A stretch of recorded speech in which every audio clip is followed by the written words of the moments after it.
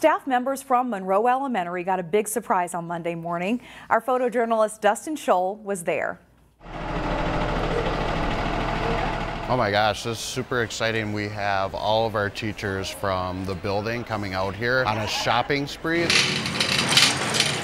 So they're going to get all of these amazing things for their classroom that they didn't even know they could get. I got some crayons of different skin colors and markers and stuff that I've been needing. I got a Cricut.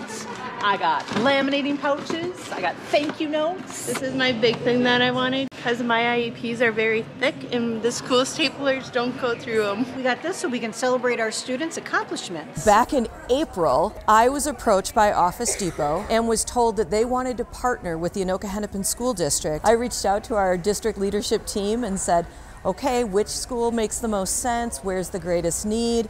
Um, how can we do this in a way that we leverage the best impact for kids? I honestly think it's hard for teachers because they're used to giving, and so they're just super grateful that someone is giving them this gift. What do you want to say to Office Depot?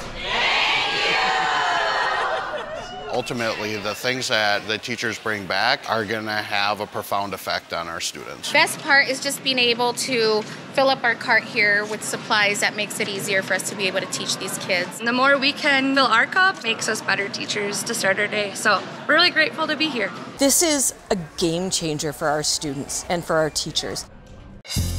Find more local news stories at ccxmedia.org and follow us on social media.